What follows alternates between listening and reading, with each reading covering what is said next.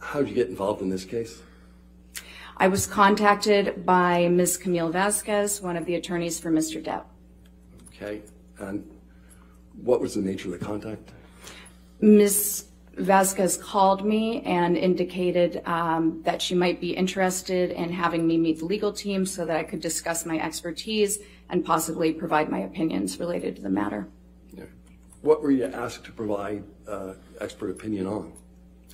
So initially, uh, my role that I understood at the time was to review the case materials and um, provide my opinions regarding anything that I noticed that was consistent or even inconsistent with the psychological science um, that exists today on intimate partner violence in Mr. Depp and Ms. Heard's relationship.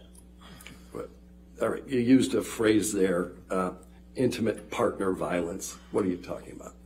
So there are a multitude of different definitions depending on the source or the state. Uh, but essentially, intimate partner violence is abuse. It could be physical, psychological, uh, and it's from one partner to another in an intimate relationship. Okay. Um, did your role in this case evolve over time?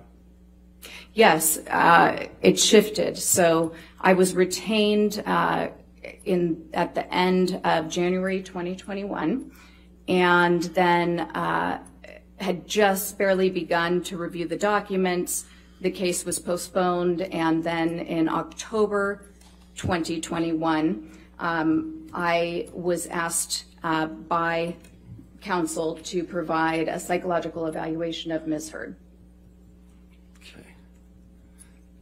Did uh, were you ever asked to do an, a psycholo- psychological evaluation of Mr. Depp?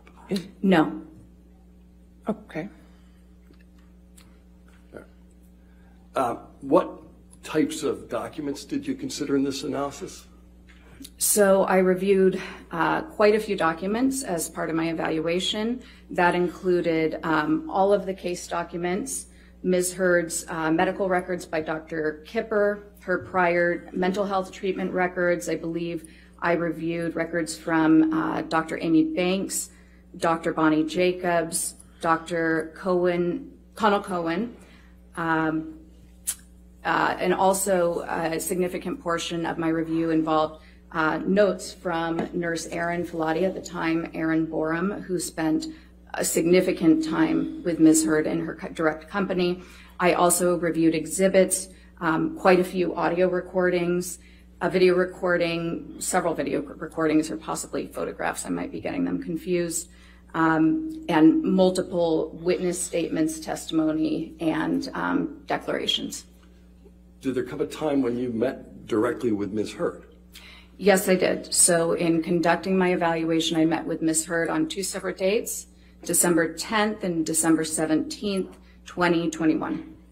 As, the, as a result of the work that you performed, did you form any opinions with respect to Ms. Heard? I did. What were those opinions? I, uh, the results of Ms. Heard's evaluation supported two diagnoses, borderline personality disorder and histrionic personality disorder. How did you conclude that Ms. Heard suffers from the personality disorders that you identified? So uh, there was information that supported it from multiple sources. Um, I conducted testing, including um, one of the main tests that I used. Uh, she obtained scores that were consistent with those diagnoses, and then I also um, there was evidence of those diagnoses in her records and in her self-report. Okay.